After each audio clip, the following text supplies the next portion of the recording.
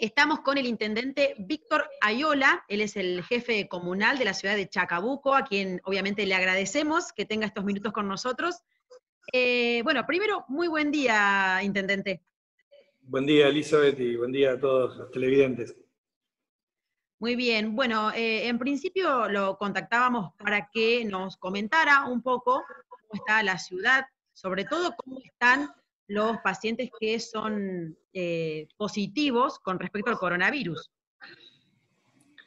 Bueno, los pacientes se encuentran bien, en buen estado general. Eh, solamente dos se encuentran internados. Los otros cuatro pertenecen a una familia que están todos juntos en la misma, en la misma eh, domicilio. Así que no, no requirieron internación, sí aislamiento y se hace un control estricto de ese aislamiento, incluso con personal con custodia a las 24 horas para, eh, para que estén en cuarentena cumpliendo la rajatabla.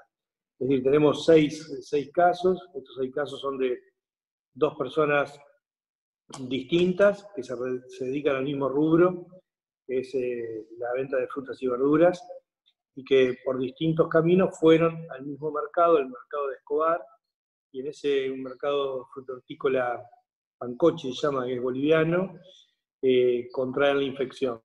Cuando vuelven a nuestra ciudad, pasan por el control, no tenían, tenían fiebre, ni tampoco pérdida de olfato, pasan y bueno, uno contagia a la esposa y otro contagia a la esposa y a, dos hijos más, eh, que son los seis casos que tenemos a, a, la fecha. Es decir, el foco está un foco delimitado de contacto estrecho cercano y no hay circulación comunitaria del virus en, nuestra ciudad. Así que bueno, seguimos implementando todas las medidas de controles estrictos y haciendo todo lo que hay que hacer desde el primer momento para, bueno, para tratar de que, este, el impacto de esta pandemia sea el menor posible en nuestra ciudad.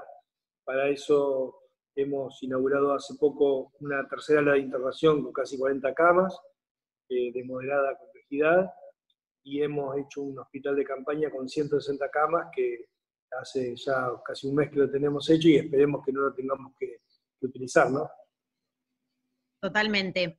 Eh, intendente, cuénteme, estas personas que eh, tienen el coronavirus, ¿son de qué edades aproximadamente? Son adultos, adultos jóvenes, es decir, los dos matrimonios diríamos son entre 40 y 49 años, y los hijos tienen 15, entre 15 y 6 años. Bien, bien. Eh, ¿Se han hecho nuevos testeos en la ciudad o solamente se han limitado a controlar los que ya son, o sea, los que están en cuarentena, porque sabemos que también hay mucha gente en cuarentena, bueno, en realidad estamos todos en cuarentena, y, eh, y, hay otros casos sospechosos, por ejemplo? Casos sospechosos tenemos eh, uno o dos fecha, pero en realidad, eh, a ver, la circulación del virus eh, está circulando en la provincia de Buenos Aires y también depende si aparecen casos o no, es el grado de testeo que uno haga. El Chacabuco tiene realizado, por una cuestión de obsesiva que tenemos de, cumplir a rajatabla los, los parámetros y las normativas de lo que es caso sospechoso, fundamentalmente. De hecho, nosotros eh, fuimos eh, precursores en, el, tema de la anosmia o la falta de olfato, como, primero como control eh, en los accesos para detectar casos asintomáticos y por otro lado, a partir de lo que hemos trabajado con el tema del olfato, se incorporó como uno de los signos o síntomas de casos sospechosos. Así que es un trabajo importante. Nosotros hemos, hasta a la fecha, hemos hisopado casi 100 personas, ¿sí? Por eso eh, hemos detectado este caso que no tenían prácticamente sintomatología. Los casos estos que, vinieron, los dos casos que fueron al mercado, uno tenía dolor lumbar y en realidad, frente a la amnesia o al interrogatorio eh, médico, salió que había ido a ese mercado y lo detectamos por ahí, lo hisopamos rápidamente y el otro lo mismo. Es decir, que no tenían sintomatología respiratoria. Sí, uno dolor lumbar y el otro gastrointestinal. Eh, sí hemos realizado más de 100 hisopados, eh, y eso también es lo que nos permitió detectar a tiempo y controlar el foco. Así que nosotros usamos el hisopado porque es un método muy fidedigno y que eh, gracias al trabajo que se viene haciendo con los laboratorios, hoy los resultados están rápidamente. Exacto.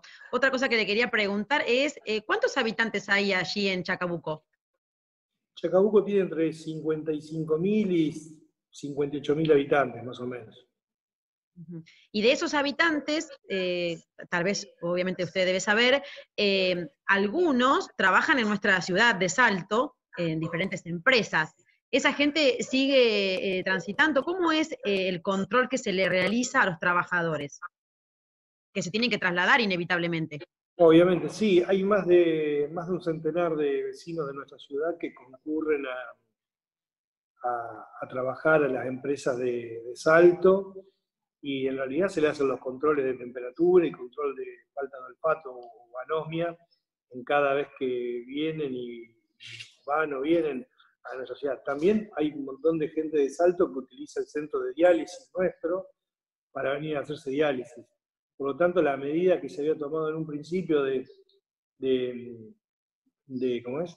de impedir eh, la venida de vecinos de Salto, el ingreso o egreso de, de, vecinos de una ciudad a otra, me parece que es una medida que, que no se ajusta a lo que corresponde por una cuestión de que una cosa es que haya circulación comunitaria y otra cosa si no hay circulación comunitaria. De hecho, Salto tuvo el primer caso eh, y nosotros, obviamente, siempre nos manejamos, yo soy médico, pediatra, y siempre nos manejamos desde el punto de vista científico y epidemiológico. Cuando averiguamos que la persona que había en salto con COVID positivo era alguien que había venido del exterior y que se habían tomado todas las medidas por el sistema de salud en forma correcta y el foco se limitó y no había circulación comunitaria, nosotros seriamente dijimos tranquilamente, porque también la gente de acá nos pedía que la gente no, no, no, tuviésemos contacto con Salto. Entonces fuimos muy responsables y pese a lo que decía la gente, no tomamos medidas demagógicas y, ni, populistas y lo que hicimos eh, fue permitir, con el sustento científico necesario, eh, que nuestros vecinos intercambiaran actividad comercial o todo tipo de actividad con los vecinos de, de Salto, porque los vecinos de Salto son eh, muy queridos por, por, parte de nuestros ciudadanos eh, y es una, una relación muy estrecha y muy cercana que tenemos con la vecina localidad. Entonces eh, nos pareciera que era injusto impedirle a los vecinos de Salto venir a nuestra ciudad porque había habido un caso, un caso positivo. Bueno, ahora estamos en situaciones al revés, pero bueno, nosotros la verdad que nos comunicamos, mi secretario de gobierno se comunicó con el secretario de gobierno de Salto, y le preguntamos si había algún decreto eh, y no existe ningún decreto que, que impida eh, libre tránsito entre ambas ciudades. Me parece el intendente es un muy buen intendente. Eh, yo he ido a visitar cuando fue lo de la inundación, nos ha atendido muy bien. Así que nada, somos muy respetuosos de, las decisiones y uno entiende también a veces que, el, miedo es, es, normal en estas situaciones. y bueno, y entiende la situación, no, no es una crítica y nada que se le parezca. Sí, eh, decimos que eh, para hacer las cosas bien hay que siempre tener en cuenta los parámetros epidemiológicos eh, y los parámetros infectológicos. ¿no? Si no hay circulación comunitaria, en realidad no debería por qué, por qué temerse el ingreso y egreso de personas. Totalmente. Intendente, otra cosa que le quería preguntar con respecto a esto que usted justamente nombró, que es el miedo. ¿Cómo ve hoy usted actualmente su ciudad? Digo, con miedo, con preocupación, más relajados, porque al haber tal vez en el transcurso de los días más información, uno puede decidir si entra en pánico o si se relaja un poco. No digo no cuidarse, pero sí relajarse. ¿Cómo ve en general su ciudad? Mira, hemos pasado por, varias etapas, ¿no? Eh, los vecinos en la provincia se vienen portando, no solo en la ciudad, en toda la provincia muy bien. Si alguien nos hubiese, nos hubiese dicho al principio de esta pandemia que los vecinos iban a estar casi 60 días adentro de su casa eh, cumpliendo con la cuarentena y que iban a hacernos caso, hubiéramos dicho que era casi imposible. y la verdad que se vienen portando muy bien todos los bonaerenses, y bueno, el Chacabuco, igual que Salto, no es la excepción. Eh, vienen cumpliendo, pero ¿qué pasa? Empezamos a, que ya está haciendo largo esto, ¿no? Yo digo que eh, en la pandemia hay tres cosas importantes. Uno, lo sanitario, ¿sí? La cantidad de casos, casos sospechosos, casos confirmados, y todas las acciones que tomamos nosotros para luchar contra el coronavirus. Otro, lo económico y social, ¿sí? que es un tema muy importante que está afectando al comercio, pero también en el que vive el día a día, el albañil, el plomero, el gasista. Eh, lo económico y social es muy importante. Y lo tercero, que es tan importante como las otras dos cosas, es lo que pasa puertas hacia adentro en cada domicilio de cada persona, de, de cada familia de nuestra ciudad. Lo que ocurre puertas para adentro, ¿qué es? A veces hay depresión, ansiedad, adicciones, alcoholismo, violencia de género, abuso sexual infantil, hay un montón de cosas que tenemos que estar trabajando fuertemente en eso. Y en eso también está el impacto que tiene el aislamiento sobre el grupo familiar.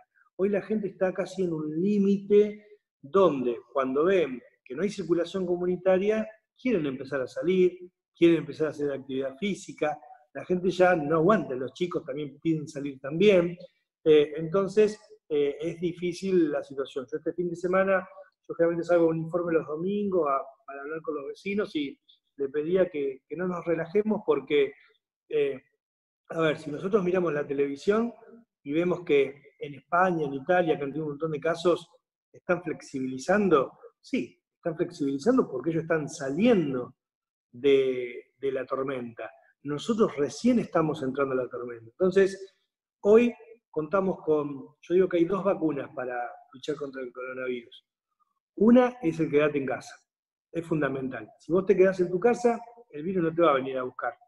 ¿sí? Y la otra es el tema de la información. La información, como la que transmiten ustedes de primera mano todos los días, eh, científicamente comprobada, esa es buena información. Pero no hay que basarse en falsas noticias o fact news, como se le dice ahora, ni, ninguna, ni en WhatsApp, ni en audios, nada de eso. Información que da la Secretaría de Salud del municipio, la provincia o la nación o los medios serios, como son en este caso ustedes, que transmiten información de primera mano, que van a la fuente, que, dicen las cosas como son. ¿no? Eh, la información que nos permite poder decidir sin ese factor que decíamos hoy, que cuál era, el miedo. ¿sí? Entonces, si uno tiene miedo, toma malas decisiones.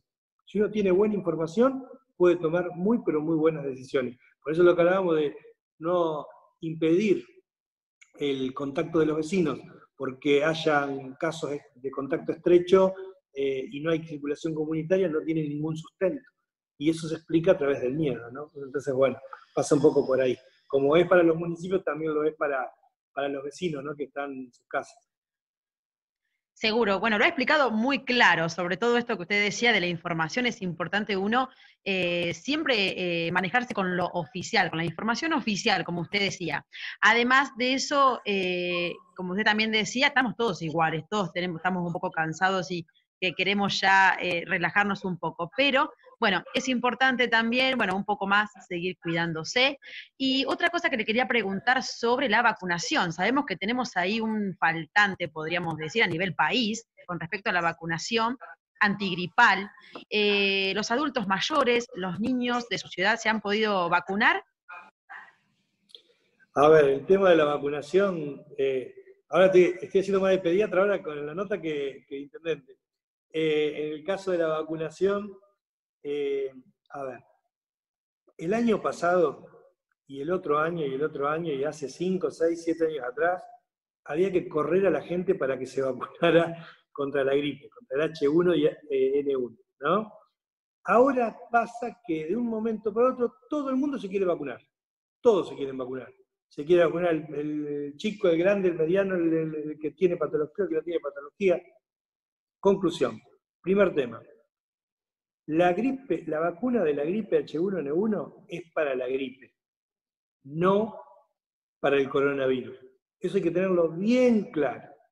Que vos te vacunes contra la gripe es contra la gripe. Es más, yo estoy casi seguro que los casos de gripe que van a ocurrir este año van a ser mucho menores a todos los años anteriores. ¿Por qué? Porque todas las medidas de prevención que estamos tomando contra el coronavirus también son para qué? Para la vacuna, para la gripe, para el H1N1. Entonces los casos o la posibilidad de contagiarnos van a ser mucho menores. Por ejemplo, si todos nos quedamos en nuestra casa, la, posibilidad de contagiarnos de gripe van a ser menores. ¿Sí? Ese es el primer tema. La vacuna H1N1 es para ese virus, no para el coronavirus. Dos, vacunarse contra la gripe no te previene del coronavirus. ¿Y después qué pasó? Siempre se vacunó fines de mayo. Ahora, se adelantó todo, ¿por qué? Porque apareció esto y entonces eh, el Ministerio de Salud de la Nación, ¿qué hizo? Compró vacunas, pero hay que abastecer a todo el país. Las vacunas vienen en avión, llegan a la aduana. De la aduana se van a Nación, y de Nación a la provincia, y de provincia a los municipios. Yo lo entiendo esto porque nosotros, en la gestión nuestra, fuimos muy cuestionados por la falta de vacunas. Y nosotros le decíamos, no es que no tenemos el dinero o que no las queremos comprar, es que no se producen como caramelos las vacunas, se producen como vacunas y llevan una distribución y llevan un tiempo. Por eso nosotros no hacemos críticas al gobierno nacional y provincial, porque como nos hacían a nosotros, eso sí, porque nosotros entendemos, entendemos cómo es el tema de distribución de las vacunas. Quédense tranquilos, que vacuna va a haber para todos, ¿sí? Y que a quién se tiene que vacunar. ¿Se tiene que vacunar todo el mundo contra la gripe? No, señor, todo el mundo no. Personal de salud grupos de riesgo y mayores de 65 años. Si no perteneces a ninguno de esos tres grupos, no te vacunes por, porque ya que está me vacuno. No corresponde. Le está sacando la vacuna alguien que lo necesita. Bueno, seguramente usted está muy al tanto, como pediatra me imagino que debe estar muy al tanto de lo que son las vacunas. Eh, bueno, Intendente, muchísimas gracias por estos minutos, la verdad que ha sido muy claro todo lo que ha contado, un gusto para mí hablar con usted, así que bueno, esperemos entonces volvernos a ver y en otro momento eh, para hablar de, cualquier otra situación, eh, tal vez más agradable, y en otro contexto de, nuestros días, para hablar de su ciudad. Bueno, yo te agradezco, Elizabeth, por, la nota. La verdad que fue un gusto. Eh, quiero saludar a todos los vecinos de Salto, decirles que, los queremos mucho, que no nos gusta que, como que haya eso, que no se puede pasar para acá, para allá, nos deja un sinsabor, eh, como que los vecinos empiezan a, a, decir cosas de un lado y del otro y no, no está bueno, no está bueno. Somos como muy hermanos, son muy hermanadas las ciudades Así que nada, que, te agradezco y estoy a disposición para, ya sea en el tema médico, como médico, como intendente, para las veces que queramos hablar podemos tener este canal de comunicación. Muchas gracias.